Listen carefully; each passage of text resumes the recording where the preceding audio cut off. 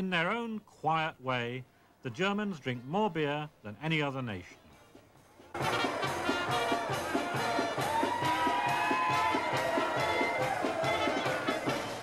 And in Germany, no state drinks as much beer as Bavaria. The Bavarians achieve this by drinking to schedule.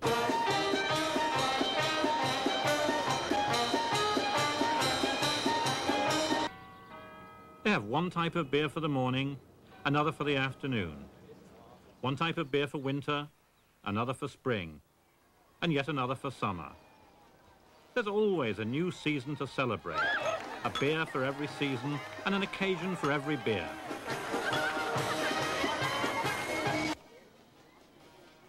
I have a formal invitation for such an occasion. It's a quiet coat and tie function in the upstairs room of a Munich tavern with a few of the regulars. Well, the Munich Tavern, the Hofbräuhaus, with a few hundred of the regulars.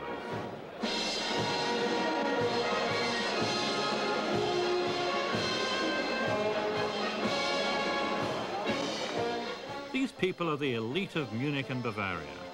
Businessmen, civil servants, artists, writers and politicians, all here to celebrate the ceremonial tapping of the first barrel of a very special seasonal brew.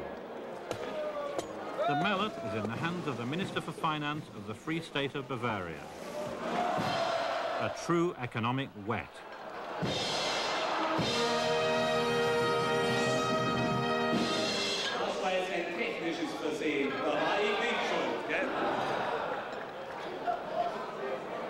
It's hard to imagine Britain's Chancellor of the Exchequer doing this, but in Bavaria, beer is a matter of state importance. In fact, the state owns the Hofbräuhaus.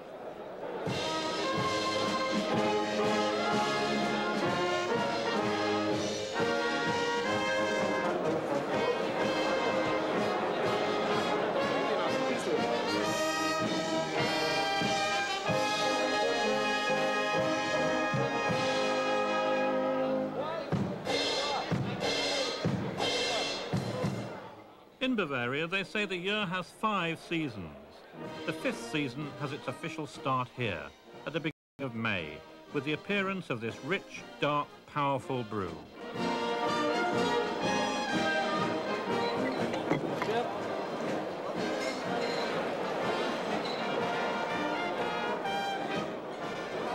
They call this seasonal springtime beer the May Bock beer. Bock means goat in German, and this beer really has got a kick. It's got more than 7% alcohol by volume, and it's so chewy and toffee-ish that I'm never really sure whether you're meant to drink it or eat it. In fact, the Bavarians call it liquid bread, so I think I'll have a slice. Bavarians are never casual about their beer, with good reason. West Germany as a whole has about 200 breweries, more than a third of the world total, and 800 of these are in one state, Bavaria. Bavaria is famous for its lager beers, but it makes at least half a dozen distinct variations on that theme, and at least as many other styles that aren't lagers at all. Munich, the capital, has six big breweries. Sometimes they seem to be on every street corner. Brewing in this area dates from the beginning of the millennium. The earliest brewers here were monks, the Franciscans, the Augustines, and the Fathers of St. Paul. The Augustiner beers are especially well regarded by the locals. Löwenbräu is the best known to the rest of the world. Each brewery produces 10 to 15 classic styles of beer, but one feature they have in common is that they're all made according to the Bavarian beer purity law, probably the oldest consumer protection law in the world. It's a purity that you can really taste in the malty Maibock. Seasonal bock beers are produced all over Germany, but the first was made at the Hofbräuhaus.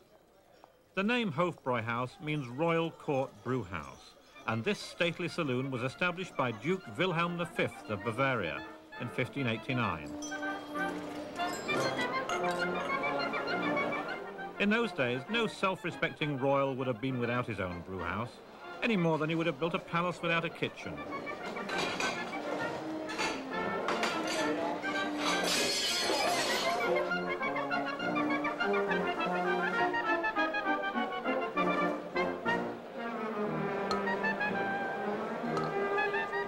Even without the royals, there's still a social ritual to the Hofbräuhaus. A touch of upstairs and downstairs, in Munich, you've made it if you've been invited upstairs for a drink with the minister. Downstairs, the proletariat raise a cheer in the most famous public bar in the world.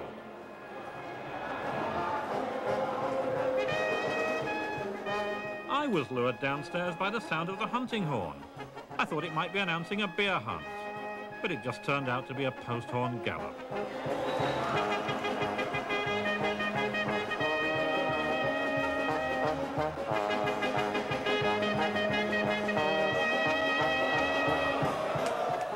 The locals put a lot of energy into looking like Bavarians in a beer hall, and the appreciative tourists soon get into the swing.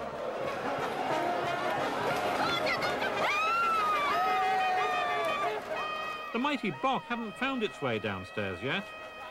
I thought I'd better get out before it did.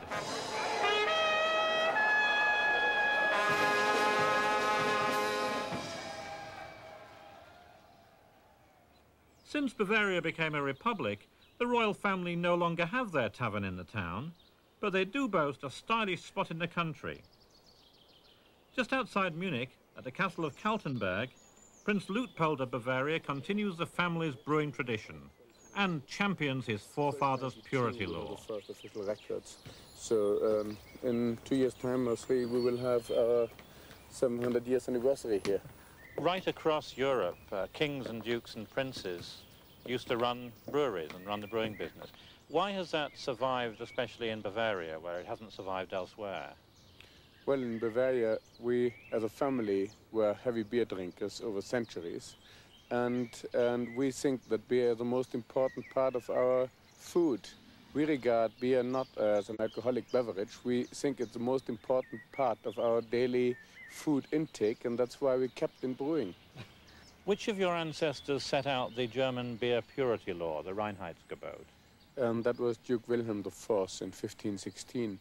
We had some purity laws for different parts of Bavaria earlier, but the one which came, the most famous one, was the one of 1516, because that one later became um, extended over all of Germany, and it is still in function today for the German brewers. And Bavaria later has made it um, one of the few questions it entered the German Empire that the Reinheitsgebot had to be spread out for the rest of Germany.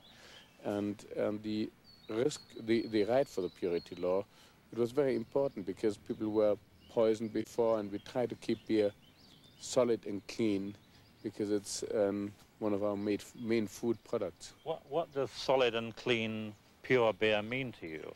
What, well, what's pure beer? Well, pure beer is, first of all, beer made out of hops, malt and water. No other ingredients besides yeast, which grows in the beer. And it means no chemistry, no chemical additives, and no other raw materials such as sugar or potatoes or God knows what other people are sometimes using.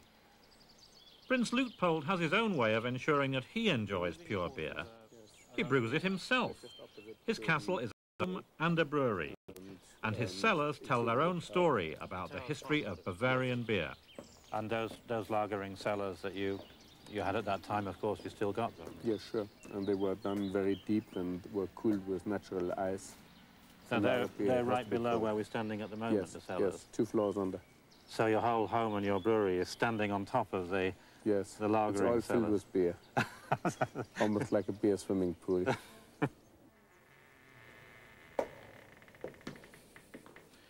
This cellar at Kaltenberg is two stories below the castle. And it was in cellars like this that lager beer brewing was developed. Lager is in fact the German word for store. And the beer in this barrel is being stored. It's being lagered. The original reason for storing the beer in these barrels was that it was impossible to brew in summer. The wild yeasts of the summer got together with the brewer's yeast and played havoc with the beer. So what brewers did was to make a huge batch in March and set it aside for use during the summer. Here in Bavaria, the brewers had cold cellars, often caves in the Alps.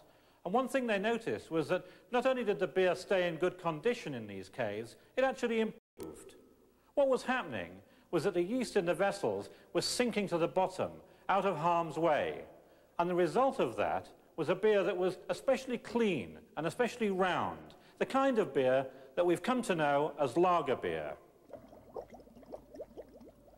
Although the Prince keeps his old wooden lagering vessels in reserve, he has steeled himself to more modern equipment. Behind the stainless shine, the cold lagering method is just the same. While the beer matures at a chilling 2 degrees Celsius, it gains the clean, rounded taste that characterizes a true lager. The term lager has got everything to do with the behavior of the yeast and that long, cold period of maturation, and nothing at all to do with the colour. The first lagers were dark brown, and Kaltenberg still regards its dark brown lager as its house specialty. It's a spicy, coffee-tasting lager. Most Bavarian breweries will make a dark lager. They'll call it a dunkel, that's the German word for dark. And they'll also make a pale lager, which they'll call a helles, that's the German word for pale. And they'll probably make a festival lager, which will be a little fuller in colour and a little stronger. They probably have a bock beer as well, which will be extra strong. And they'll have a range of wheat beers, perhaps one that's pale, one that's dark, and one that's sedimented with yeast. Wheat beers are an even older style than lagers, and a few years ago they seemed to be vanishing from the market. Then suddenly they became fashionable again, and in the last 10 years, wheat beers have achieved 20% of the Bavarian market. The crisp, refreshing wheat beers in their vase-shaped glass, and sometimes with a garnish of lemon, signify summer as much as a heartier Maibock heralds spring. There's a place for every beer, and every beer in its place.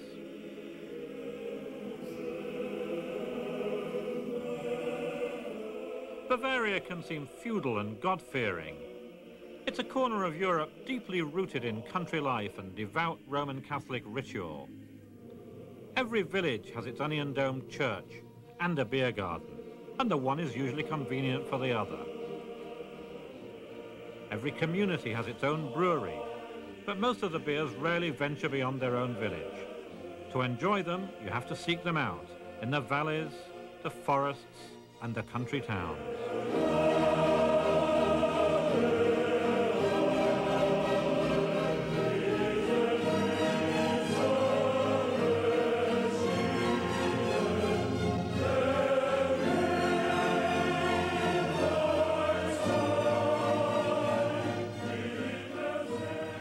Is a fairy tale place for the beer hunter, and nowhere are the hunting grounds happier than in the northern part of Bavaria, the region known as Franconia. There's nowhere in the world with more breweries per square mile than Franconia. And there's no city in which to drink beer that's more lovely than the little Baroque town of Bamberg. It's a town of only 75,000 people, but it has 10 breweries, and every one makes beer with its own individualistic character. A town of 75,000 people with more breweries than Munich, London or Milwaukee.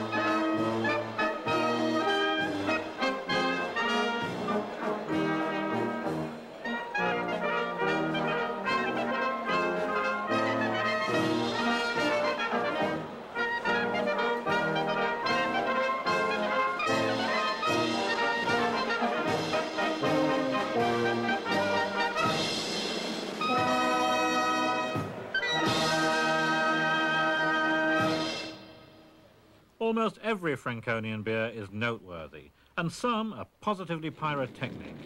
Nowhere is beer more elemental. Outside two or three very special breweries in Franconia, you'll find huge wood piles like this. What they do with this beech wood is to burn it in their malt kilns, and the malt they produce in that way makes for a brew that's the beer world's answer to single malt scotch. If this were a Scotch whisky maltings, they'd be burning peat. Instead, it's a beechwood fire that dries the malt. and its smoke pervades the grain in the kiln. When this smoky malt goes into the brew, it'll add its distinct flavour to the beer. The end result is a Rauch beer, a smoked lager. It's a classic local style in the Bamberg area, and the Schlenkerla Brewery tap is the most celebrated place in which to drink it.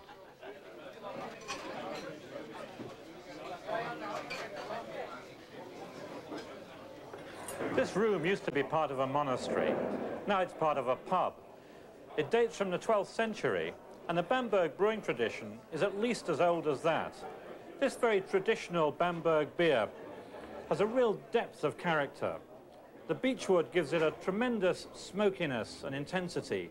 Some people, when they first taste it, are really shocked. In fact, the locals say you need to have six or seven litres before you really get to like it.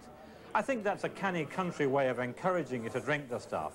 I loved it the first time I ever tried it. It's the perfect accompaniment to Bavarian ham, a smoked Bavarian beer with a smoked Bavarian ham. But there's more than one way to fire up your beer. The Rauchenfels Steinbier Brewery in nearby Coburg has revived a long-lost technique involving rocks. The purity law has nothing to say on the subject of putting rocks into your beer, so long as you take them out before you bottle it. These rocks, going into a lagering tank, are covered with a smoky caramel coating. It's not an additive, and these are not any old rocks. This is the final stage of one of the world's oddest brewing procedures.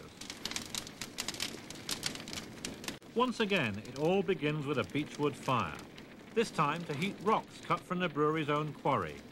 After 12 hours, the rocks have reached 2,500 degrees Celsius and are ready to be plunged directly into the brew kettle. Hoisting the white-hot stones to the kettle is an arm's length arrangement.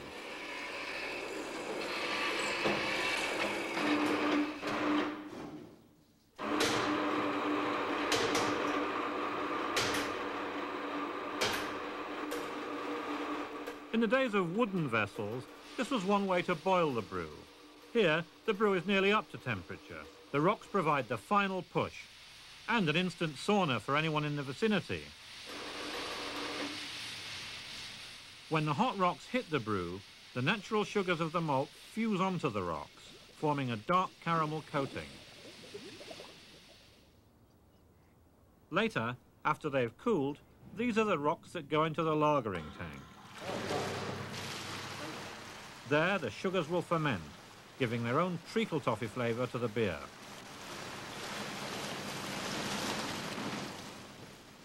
They call it stone beer, in German, Steinbier. Franconia already has Stein wine, so why not Stein beer?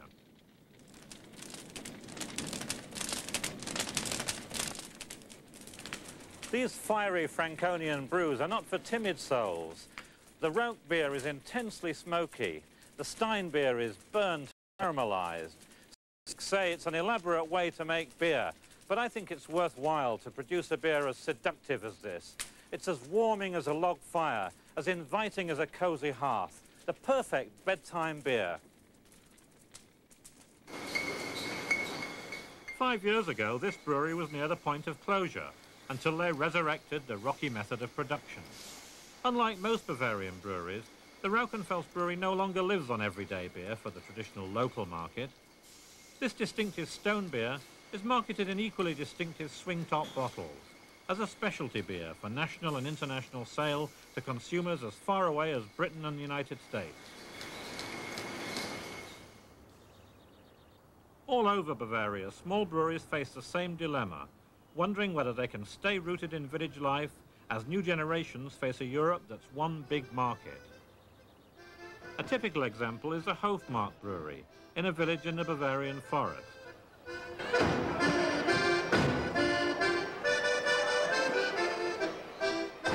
Hofmark has become an enthusiastic exporter, but is still keenly aware of its village roots.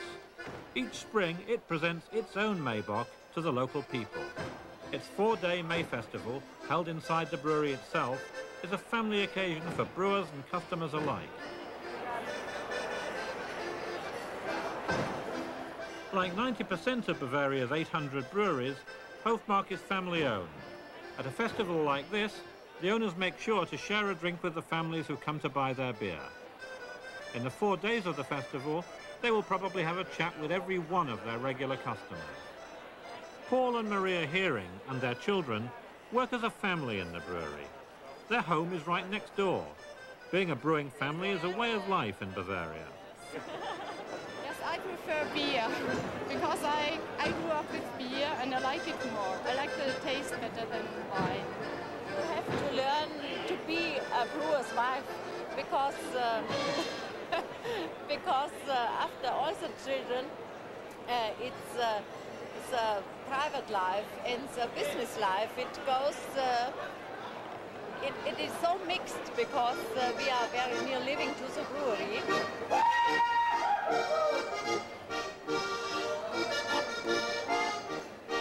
Their Maibock is pale in colour, firm-bodied and smooth.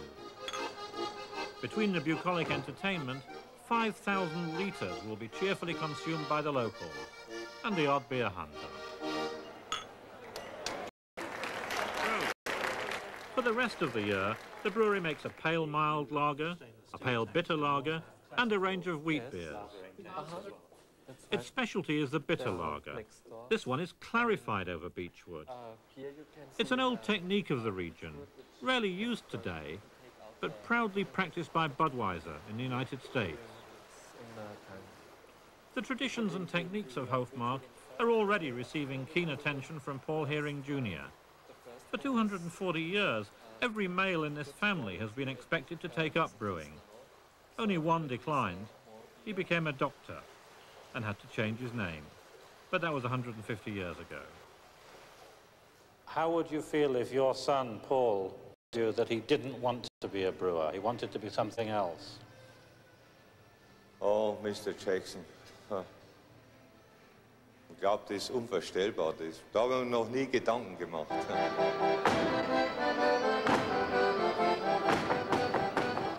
Beer may be thicker than blood, but that alone will not guarantee survival for the family brewers of Bavaria. Hofmark recognizes the growing competition in Europe and has chosen to fight by expanding its business. They're selling their beer in several other European countries and have even looked at the American market. It's a bold approach, but can it work? Oh, wir haben durchaus Chancen. Wir haben jetzt seit 240 Jahren bewiesen, Einbezug des Dreißigjährigen Krieges, zwei Weltkriege, Revolutionen davor, Schwedenüberfälle, ich weiß nicht, was noch alles über unser Land kam. Und die Brauerei steht immer noch. Und wie Sie sehen, wir haben mit Erfolg expandiert. Und ich denke, dass wir auch das Gebilde der EG noch überstehen können. Ich für meine Generation auf jeden Fall und hoffe, dass noch so viel Substanz da ist, auch für meinen Sohn, das weiterzuführen. Eine Hackler fertig, ziehen! The depth of rural tradition has been perhaps the most powerful defense mechanism for the Bavarian brewers. Bavaria still has its seasonal beers. It still has its classic local styles of beer. And it still has its purity law. But does pure beer have a place in modern Europe? It's expensive to produce beers the old-fashioned way, and Europe's biggest brewers don't. Furthermore, beer made the pure way tastes like, well, it tastes like beer which is an alien concept to many consumers elsewhere. The Germans say that they'll stick to brewing according to their purity law, come what may. But the European courts have said that foreign breweries needn't observe the law if they wish to sell their beer in Germany. So will the German consumer continue to prefer traditional German beer, or will a younger generation be tempted by the newer names of glamorous foreign brews? Thus far, it seems that the Germans are going to be loyal to their liquid bread rather than some international sliced bread. And I'll drink to that.